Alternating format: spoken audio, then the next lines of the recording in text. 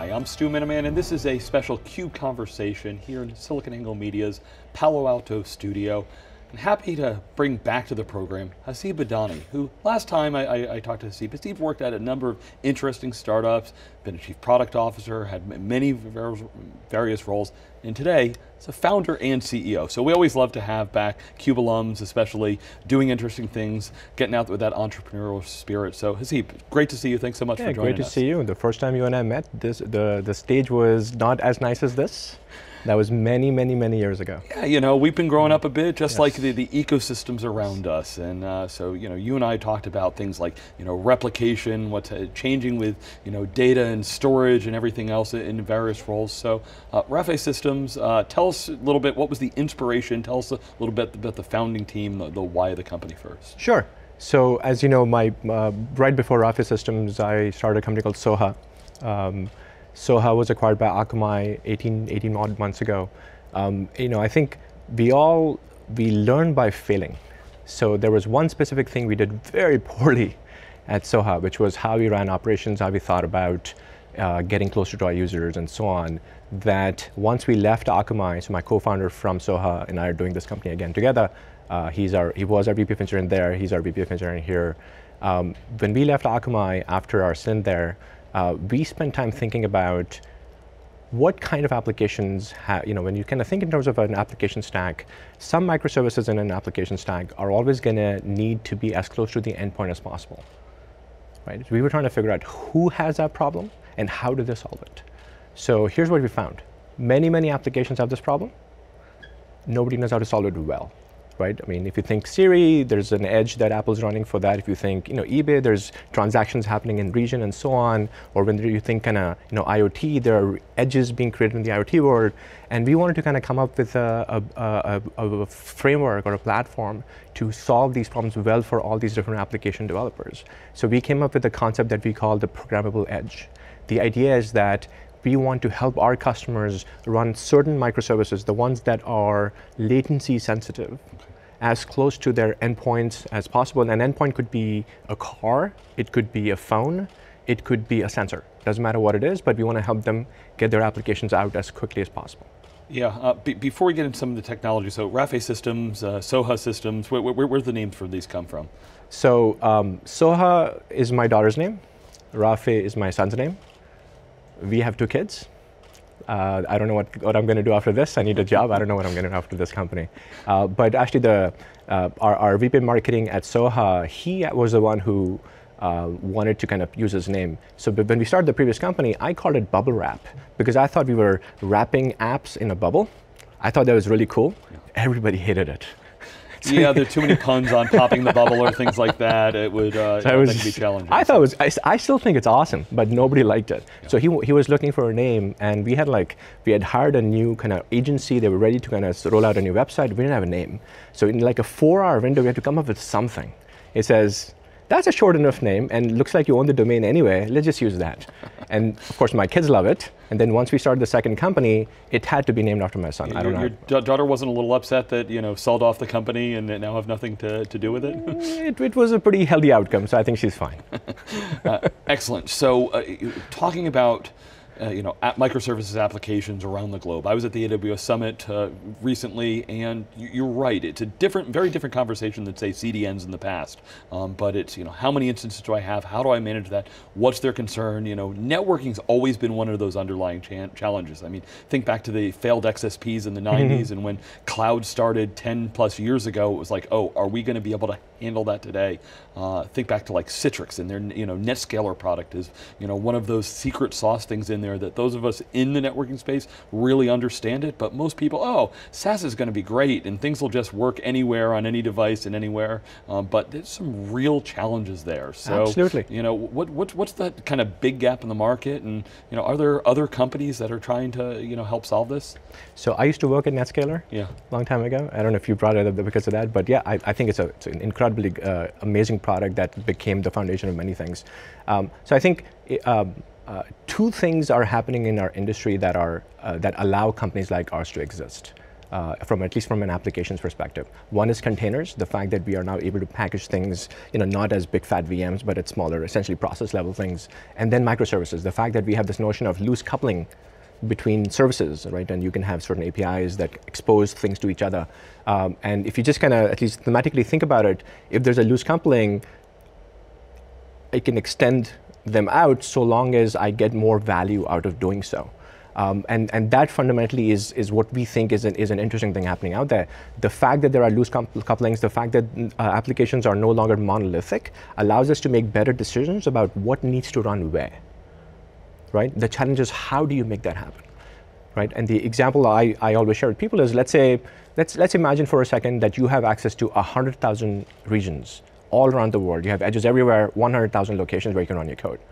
What do you do next? How do you decide which ones you need? Do you need 5,000? Do you need 80,000?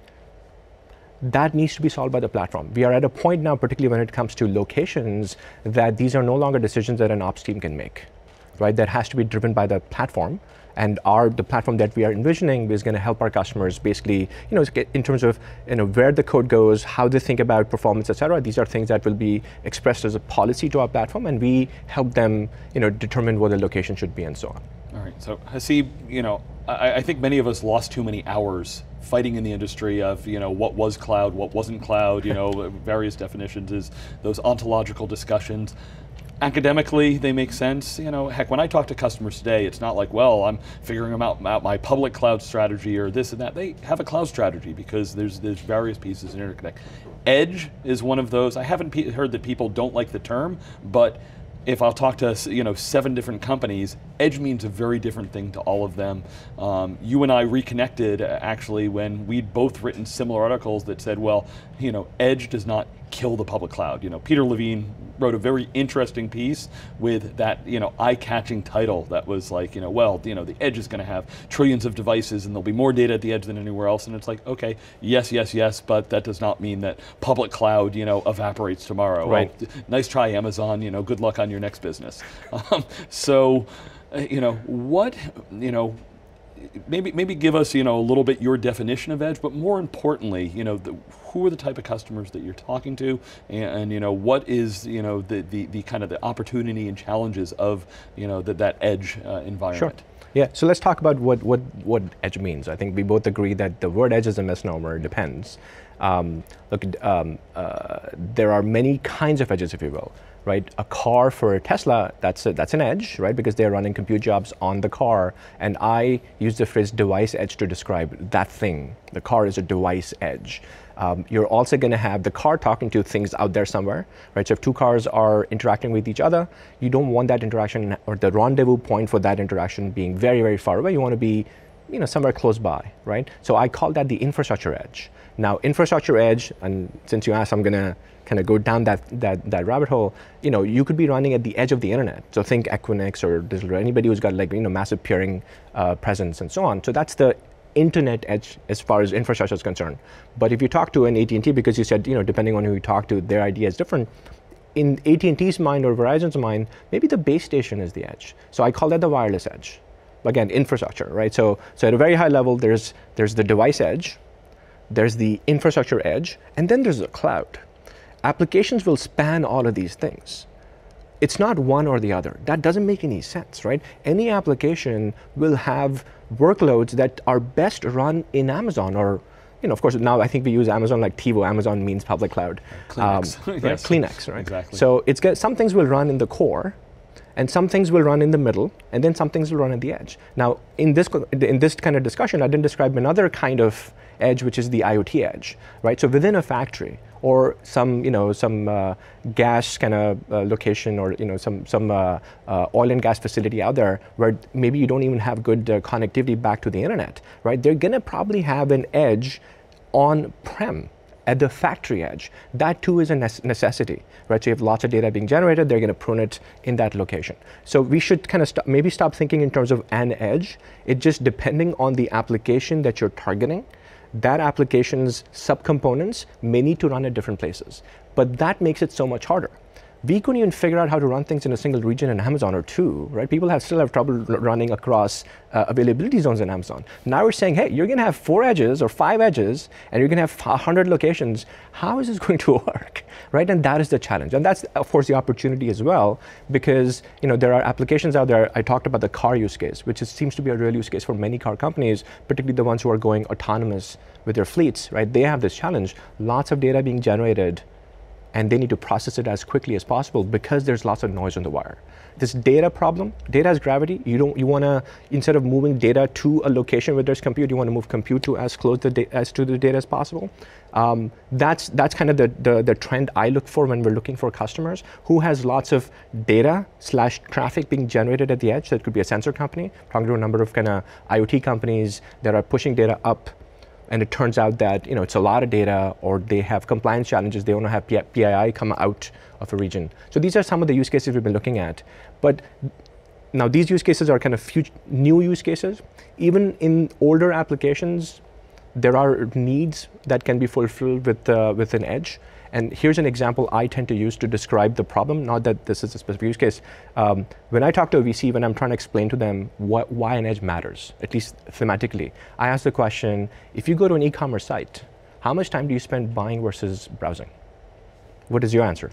Right, the buying is a very small piece of it, yeah. but it's the most important part. 99% of the time yeah. is spent looking at read-only stuff, right? Sure. Why do you need to go back to the core if you're not buying? What if the inventory could be pushed to the edge and you can just interact and look at the, well, the, the inventory. And when you make a purchase decision, that goes to the core. That's what's possible with the edge. In fact, I believe that you know, some number of years down the line, you know, that's how all applications are going to behave.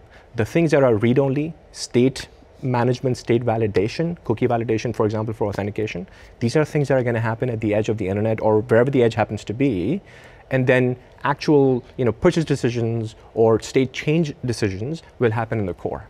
Right. So see, explain to us kind of where in the stack your solution fits. You mentioned everything from kind of the, the, the hyperscale clouds to you know Equinix uh, out to you know devices and cars and the like. So you know wh where's your layer? What where, where's your secret sauce? Sure. So we expect to sit uh, um, at, at, the internet edge or the and once the wireless edge is a real thing, 5G becomes kind of out there. We expect to sit somewhere there, somewhere between the internet edge. So we are uh, the, the, way we kind of think about this is there are aggregation points in the on the internet in, in the network mm-hmm. where you have need to put compute so you can make decisions across you know aggregate decisions across multiple devices. That's where we are building our company.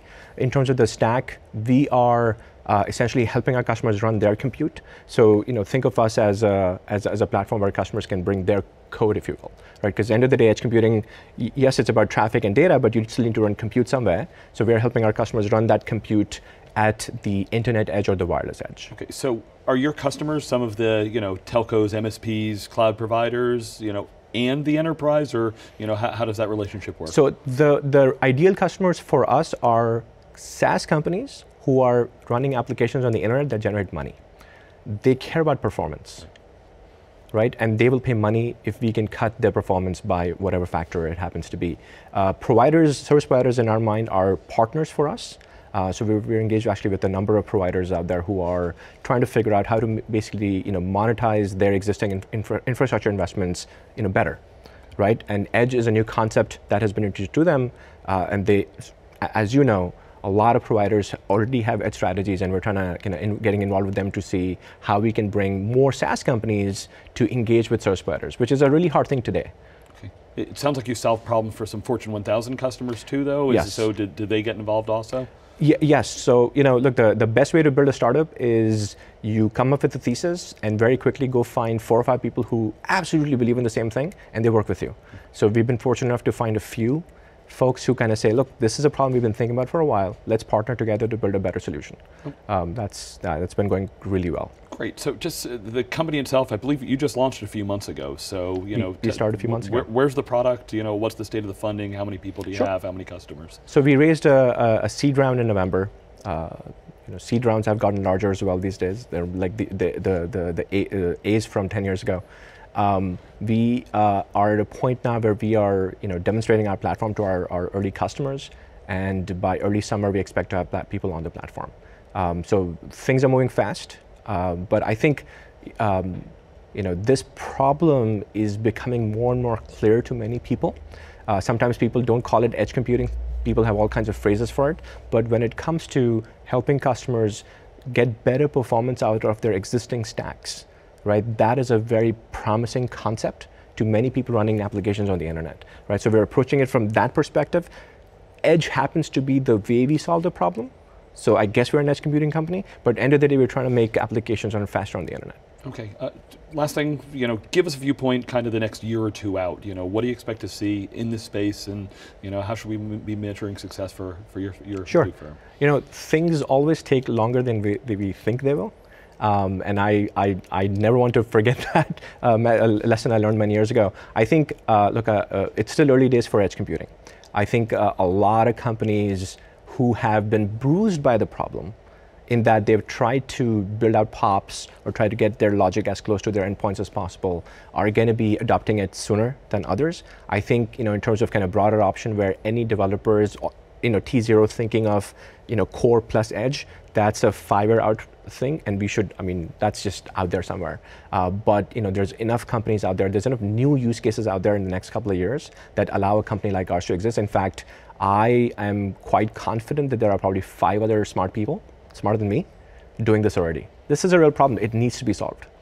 All right, well, Haseeb Budhani, it's great to catch up. Thank you so much for helping us, you know, interact with our community, understand, you know, where these emerging trends and edge and everything that happens. Uh, you know, distributed architectures absolutely are, you know, biggest challenges of our time, uh, and uh, look forward to seeing where you and your customers go in the future. Absolutely. Thank you so much, Joe. Appreciate All right, your time. and thank you for joining us. Uh, of course, check out thecube.net uh, for all of the videos. Check out wikibon.com where we're absolutely digging in deep uh, to how edge is impacting architectures. Peter Burris, David Floyer in the team, uh, you know, digging in deep to understand that more and uh, always love your feedback. So feel free to give us any comments back. I'm Stu Miniman and thank you for watching theCUBE.